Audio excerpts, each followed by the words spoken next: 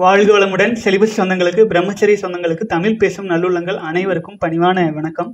அன்பான பிரம்மச்சரிய சகோதரர்களை முப்பத்தி நான்காவது நாளுக்கான பிரம்மச்சரிய வீடியோவில் சந்திக்கிறோம். பல சகோதரர்கள் மிக வலிமையோடு நேற்றைய தினத்தையும் கடந்து வந்திருப்பீங்க. இன்னைக்கு நமக்கு வந்து பார்த்தீங்கன்னா நேரடியாக நாம் மீட்டிங் செய்வதற்கான காலங்கள் நெருங்கி கொண்டே வந்துட்டு இருக்குது சகோதரர்களை நாம் மீட் பண்ணும்போது மிக வலிமையோடு நீங்கள் மீட் பண்ணணும். ஒருவேளை வந்து இந்த ஃபார்ம்ஸ் ஃபில்அப் பண்ணாமல் இருந்தால் தயவு செஞ்சு அது டிஸ்கிரிப்ஷனில் டீட்டெயில்ஸ் இருக்குது ஃபில்அப் பண்ணிடுங்க நாம் மீட் பண்ணுவதற்கான அந்த வீடியோ லிங்க் டீட்டெயில்ஸ் எல்லாமே நம்ம கொடுத்துருக்கோம். இதுவரை பார்க்காதவர்கள் பார்த்து கொள்ளுங்கள். டிஸ்கிரிப்ஷனில் டீட்டெயில்ஸ் இருக்குது இன்றைக்கி வந்து பார்த்தீங்கன்னா சகோதரர்களின் கேள்வி பதிலுக்குள்ளே வேக வேகமாக போயிடலாம். ஏன்னா கிட்டத்தட்ட ஒரு மாதத்திற்கு மேலான கே பெயிண்டிங்ஸ் நிறைய இருக்கிறதுனால இப்போ டெய்லி ஒரு ஒரு கேள்வி பதில் தான் நம்ம பார்த்துட்ருக்கோம் இருந்தாலும் நம்ம இப்போ வேகமாக பார்த்துடலாங்க சாமி ஆடுதல் அருள்வாக்கு சொல்லுதல் உண்மையா? அதன் பின் இருக்கும் சூட்சமம் என்ன? அன்பான சகோதரரே சாமி ஆடுறாங்க அருள்வாக்கு அதெல்லாம் வந்து பார்த்தீங்க அப்படின்னா எனக்கு தெரிஞ்சு என்னுடைய ஒரு சுய யோசனையில் தெரிஞ்சு பார்த்தீங்கன்னா காக்காய் உட்கார பணம்பலம் விழுகிற மாதிரி தான் சரிங்களா? காக்காய் உட்கார பணம்பலம் விழுவது போல தான் அவரவர்கள் வாழ்க்கையிலேயே நாளைக்கு என்ன நடக்குதுன்னு தெரியாத இந்த காலத்தில் அடுத்தவர்களோட வாழ்க்கைக்கு வந்து அருள்வாக்கு சொல்கிறேன் அப்படிங்கும்போது அதில் வந்து பார்த்தீங்கன்னா பெரிதாக உடன்பாடு இல்லை ஆனால் சிலருக்கு வந்து அதை தொழிலாக மாற்றி பலரும் செஞ்சுட்டு வந்துட்டு இருக்காங்க அந்த அளவுக்கு வந்து ரொம்ப பிரபஞ்ச அளவுக்கு தன்னையே பிரபஞ்சமாக மாற்றி விரித்து அப்புறமேல் வந்து ஒரு குறிப்பிட்ட மனிதனின் எதிர்காலத்தை சொல்லிவிட முடியும் என்றால் அந்த எதிர்காலத்தை மாற்றிவிடும் சக்தியும் அவங்களுக்கு இருக்கணும். ஆச்சுங்களா? அந்த அளவுக்கான ஞானிகள் இந்த காலத்துல இவ்வளவு வெளிப்படையா வந்து கோவில் ஆடிட்டெல்லாம் சொல்ல மாட்டாங்க. சரிங்களா? ஆகவே அதையெல்லாம் பெருசாக நீங்கள் நம்பி ஆட்டோலேயே விரயம் செய்யாதீர்கள். ஏன்னா நான் போயிருக்கேன் இந்த மாதிரி கோயில்களுக்கு. எல்லாருக்கும் ஒன்று தான் சொல்லுவாங்க. கஷ்டமுக்கிறவங்க கோயிலுக்கு வருவான் அப்போ அதுக்கு தகுந்த மாதிரி பத்து வார்த்தைகள் சொல்லும்போது அதில் ரெண்டு வார்த்தை பொருந்திடுச்சுன்னா உண்மை சொல்கிறாங்கன்னு நம்பிக்குவோம். கடந்த காலத்தை பற்றி சொல்லுவாங்க. ஏன்னா பெரும்பாலும் இந்த உலகத்தில் எல்லாரும் எப்படி பார்க்குறாங்க நானே சொல்கிறேனே இல்லை யாராச்சும் குடும்ப வாழ்க்கையில் ஹாப்பியாக இருக்காங்களா? என்ன இருக்குது ஆகவே அதாவது இந்த உலகத்தின் போக்கை சொல்ல முடியும். யார் வேணாலும் சொல்லலாம். பார்க்குறோம்ல. இது இங்கே தான் போய் முடியும் அப்படின்னு அது சொல்லிடலாம். ஆனால் வந்து ஒரு குறிப்பிட்ட மனிதருக்கு இதுதான் நடக்கும் அப்படிங்கிறத சொல்ல முடியாது. அப்படி சொன்னால் அதுக்கு அப்புறம் அதுக்கப்புறம் நாம் எதுக்கு பிறந்தோம்? நம்ம எதுக்கு இருக்கிறோம்? இல்லைங்களா? எல்லாம் உள்ள இறைவனே நமக்குள்ளே ஏன் இருக்கிறாரு? சரிங்களா? ஆகவே அருள்வாக்கு அப்புறம் சாமி ஆடுறது அதில் அதெல்லாம் வந்து ஓரளவில் வந்து பார்த்தீங்கன்னா மன மனதளவில் வந்து பார்த்தீங்க அப்படின்னா கொஞ்சம் பலவீனமாக இருக்கிறவங்களுக்கு இந்த மாதிரி விஷயங்கள் டக்குன்னு நடக்கிறத நான் கேள்விப்பட்டிருக்கேன். ஏன் நீங்கள் வெளி உலக விஷயத்தில் அவ்வளோ நம்பிக்கை வைக்கணும்? உங்களுக்குள்ளேயே இறைவன் இருக்கும்போது ஆச்சுங்களா? அது சரியாகவும் இருக்கலாம் கெடுதலாகவும் இருக்கலாம். அதுக்கு பெரிய முக்கியத்துவம் கொடுத்து ஆற்றல் விரயம் செய்ய வேண்டியதில்லை. அது ரிசர்ச்சுக்கே போக வேண்டியதில்லை அப்படிங்கிறது என்னோட கருத்து. வாழ்க வளமுடன். விக்கிரகத்திற்கு தெய்வ சக்தியை ஈர்த்து பிரபஞ்ச சக்தி கோவில் முழுவதும் பரவ செய்யும் யுக்தியை நம் முன்னோர்கள் எப்படி கண்டறிந்தனர்? மந்திர பிரயோகம் உண்மையா? மந்திரம் எப்படி வலிமை பெறுகிறது? சிவவாக்கியம் பாடல் சிவாய வசி என்ற மந்திரத்தை பற்றி பாடியுள்ளார்.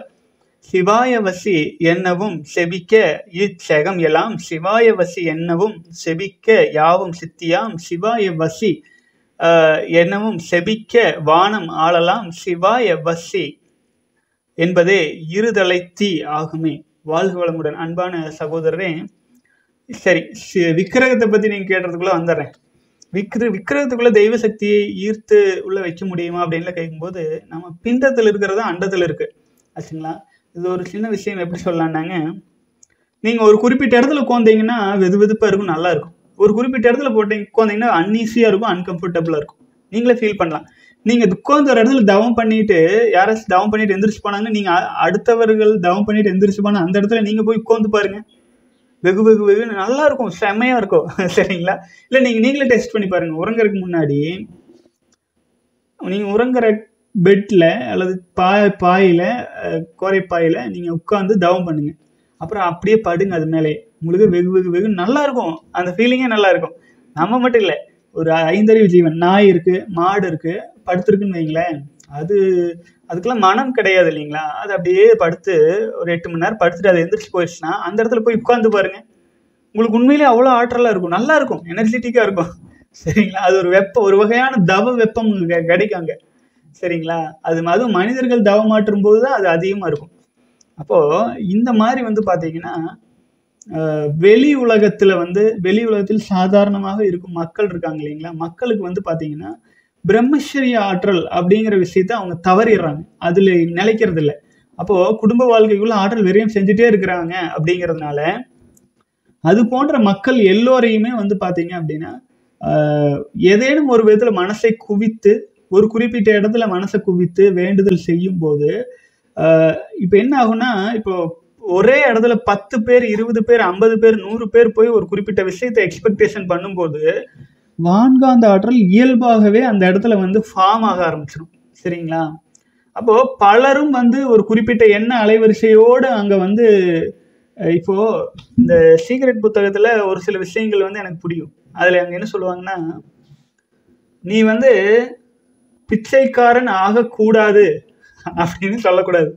பிச்சைக்காரன் ஆகக்கூடாதுன்னு சொன்னாலும் நீ பிச்சைக்காரன் ஆயிடுவேன் அதே மாதிரியே நான் பிச்சைக்காரன் ஆகணும்னு சொன்னாலும் பிச்சைக்காரன் ஆயிடுவேன் ஏன்னு கேட்டா நீ என்ன ஆகணும் ஆகக்கூடாதுங்கிறது முக்கியம் இல்லை. நீ அங்க எதுவா ஆகக்கூடாதுன்னு சொல்றியோ எதுவா ஆகணும்னு சொல்கிறையோ அந்த அது அந்த ஒரு முக்கியமா பிச்சைக்காரங்கிற விஷயம் தான் வான்காந்தத்துல பதியும். அதான் உங்களுக்கு மாத்தி விட்டுருப்பாங்க அதனால கோடீஸ்வரனா மாறணும்னு சொல்லு. இல்ல கோடீஸ்வரனா மாறக்கூடாதுன்னு கூட சொல்லு. ஆனா நீ கோடீஸ்வரன் தான் ஆவ அப்படின்லாம் சொல்லுவாங்க.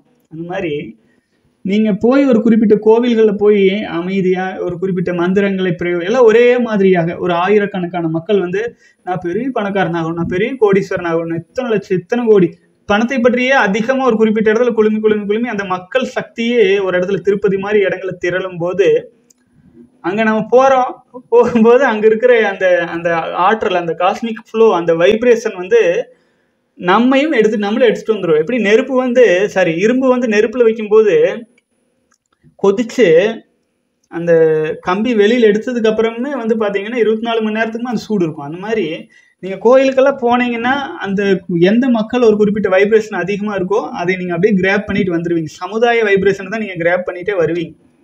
ஆச்சுங்களா? அதுக்கு சில முறையான ச சாங்கியங்கள் அந்த அதுக்கு சில சில முறையான விஷயங்களெல்லாம் செஞ்சு அதையெல்லாம் சரி பண்ணி வச்சுருக்காங்க. அது ரொம்ப ரொம்ப முக்கியம் அது கோவில் பிரதிஷ்டை எல்லாமே மிகப்பெரிய சயின்ஸுங்க. அதெல்லாம் நமக்கு வந்து இந்த அஞ்சு நிமிஷம் வீடியோவில் பேசவே முடியாது. அதன் அதற்குரிய ஆன்மீகம் அப்படிங்கிறது நம்ம வந்து சயின்டிஸ்ட் தான். ஆச்சுங்களா? அது ஆன்மீகத்தின் ஆன்மீக ரீதியாக நமக்குள்ளாகவே நாம் மிகப்பெரிய சயின்டிஸ்டாக தான் இருந்திருக்கோம். அது அதை வந்து பார்த்தீங்கன்னா முறைப்படி முறைப்படி வந்து கற்றுக்கொள்வதற்கு வருடங்கள் ஆகும். சரிங்களா?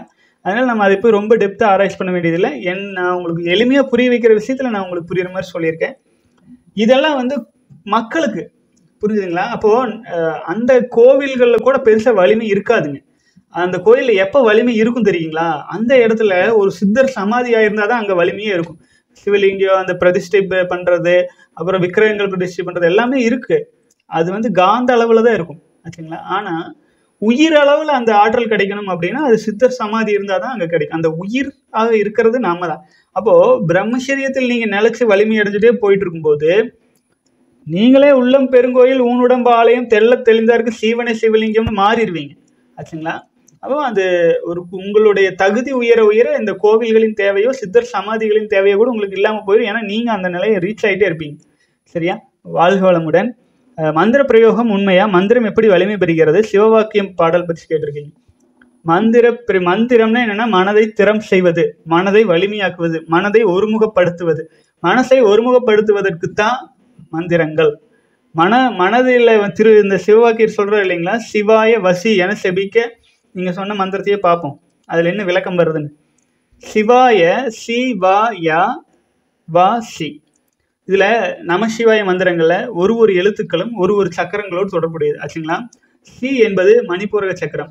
வா என்பது அநாகத சக்கரம். யா என்பது பார்த்தீங்கன்னா விசுக்தி சக்கரம். என்ன? சிவா எங்கிருந்து ஸ்டார்ட் ஆகுது? மணிப்பூரக சக்கரம். நாம் உண்ணும் உணவு உணவுங்கிறது மணிப்பூரக சக்கரம். அடுத்தது காற்று சக்கரம் அஹ், சிவா. யா என்பது நமக்கு வந்து பார்த்தீங்க அப்படின்னா ஆகாயத்தன்மைக்கு வந்துடும் அடுத்தது சிவாய வா சி. என்ன ஆகுதுங்க? நம்முடைய ஆற்றலானது நம் உண்ணும் உணவு எல்லா ஆற்றலுமே எங்க தொப்புள் குழியிலிருந்து காற்றிற்கும் ஆகாயத்திற்கும் காற்றுக்கும் தொப்புள் குழிக்கும் நெருப்புக்கும். ஆச்சுங்களா? இப்போ மேலே இதுக்குள்ளேயே சுத்திட்டு இருக்கு. இருது இருதலை கொல்லின்னு ஓடுரு பாருங்களேன். ஆமாம் சிவாய வசி என செபிக்கவும் சித்தியாம். சிவாய வசி என்ன செபிக்க வானம் ஆளலாம். ஏன் வானம் ஆக- ஆளலாம் அப்படிங்கிறாருன்னா சிவாய வாஹி என்பது கிட்டத்தட்ட வந்து பார்த்தீங்கன்னா ஆகாயத்திற்கு ஆற்றலை எடுத்து சென்று ஆகாயம் அளவு விரிஞ்சு அடுத்தது வந்து திரும்பவும் வந்து பார்த்தீங்க அப்படின்னா கீழே கொண்டுட்டு வரோம். இதுக்கு நெருப்பு வரைக்கும் கொண்டுட்டு வரோம். அப்போது வானம் ஆளலாம். இது வந்து பார்த்தீங்கன்னா இருதலை தீ ஆகுமே. இந்த மந்திரங்களை நீங்கள் செபிக்கிறதுனால வாயில் வாயில் செபிக்கிறதுனால ஒன்றும் பலன் கிடையாதுங்க. அதுதான் சொல்லுவார். அதே சிவவாக்கியதை சொல்லுவார். அஞ்சலத்தை வெம்பி வெம்பி செபிக்கின்ற மூடர்கள்னால சொல்லியிருப்பார். அப்போ வாயில் இல்லை. அஞ்செழுத்து நெஞ்செழுத்தி. அதுவும் அப்படி வரும் ஆச்சுங்களா? நெஞ்செழுத்தி உணர்ந்து கூற வல்லிரேல். புரிஞ்சுதுங்களா? நான் இப்போ உணர்ந்து சொல்லிட்டு இருக்கேன் அந்த ச- அந்த எழுத்துக்களில் மாயம் கிடையாது. நம்ம வந்து பார்த்தீங்க அப்படின்னா நமக்குள்ளாக இருக்கும் சக்கரங்களில் ஆழ்ந்து தவமாற்றம். புரிஞ்சுதுங்களா? அதுதான் நம்ம சாவித்திரி தவம்னே கொடுத்துருக்கோம். இது வந்து நம்ம வெறும் மந்திரங்கள் சிவயவசி சிவய வசினா அதில் ஒன்றும் கிடையாது. காத்தா போயிட்டு இருக்கும் அவ்வளோதான் நீங்கள் காத்தா போகணும்னா நீங்கள் சொல்லிட்டு இருக்கலாம் நீங்கள் எத்தனை ஆயிரம் ஜென்மம் ஆனாலும் நீங்கள் வானமெல்லாம் ஆள மாட்டீங்க. அஞ்செழுத்தை நெஞ்செழுத்தி உணர்ந்து நீங்கள் சொல்ல ஆரம்பிக்கும் போது நீங்கள் வலிமையான மனிதராக மாறிடுவீங்க. ஆச்சுங்களா வாழ்க வளமுடன் அன்பான சகோதரர்களே பத்து நிமிடம் கடந்துருச்சு. மீண்டும் நாளை தினம் முப்பத்தி அஞ்சாவது நாளுக்கான வீடியோவில் சந்திக்கலாம். வாழ்க வளமுடன்.